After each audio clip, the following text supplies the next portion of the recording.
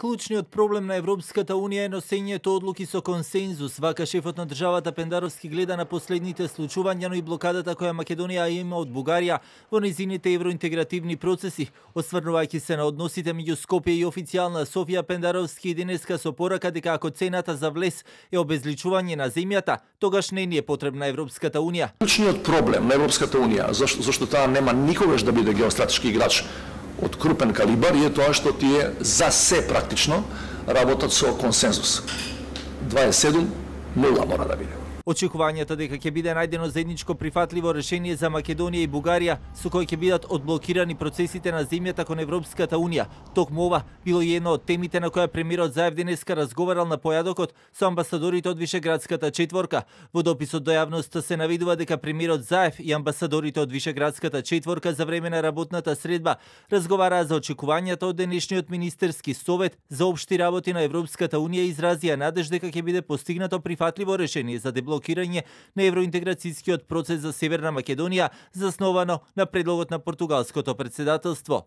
Со став во оваа насока, денеска е министерот за надворешни работи Бујар Османи, кој пак посредбата со неговата колешка, шефицата на шведската дипломатија, Ан Линде, разговара за евроинтегративните процеси на Македонија, но и за тоа дека земјата останува посветено да работи. На вистина е крајно време да Европската Унија е, ја даде пораката кон регионот. Билатерално прашање не треба да биде предуслов за почеток на преговори со Северна Македонија. Мислам дека ова заедничка позиција, став на скоро сите министри за надворешни работи, освен министерот за надворешни работи на Бугарија. Во пресрет на денешното заседавање на Советот на Европската Унија во Луксембург под португалското председателство денеска средба со амбасадорката на Португалија со седиште во Белград имаше и вице-премиерот за европски прашања Никола Димитров.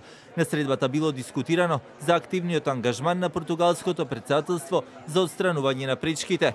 Од опозицијската ВМРО ДПМН пак вела дека постојат и други земји освен Бугарија кои не се за проширување на Унијата конкретно кога станува збор за Македонија. Ова го посочи денеска и председателот на Собраниската комисија за надворешна политика Антонио Милошовски, кој пак даде изјава за медиумите со неговата колешка од албанскиот парламент Мими Кодели. Самото одење на господинот Заев во Софија и неговото поведение во изминатите 2-3 години ни дава основано сомнение дека тој има понудено нацрт документ во неофицијална верзија, која што владата во Македонија не сака да го сподели со пратениците во собранието, ниту со новинарите. Ние сме убедени како албанци како Албанија и како воопшто како политика на Албанија дека нашето патување ќе биде заеднички, заедно Албанија и Северна Македонија на заедничкиот пат кон Европската Унија.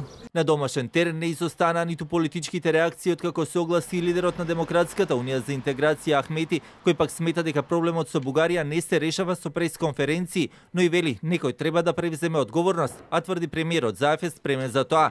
Сепак за сега останува блокадата од официјална Софија кој натаму е пречка за евроинтегративните процеси на Македонија.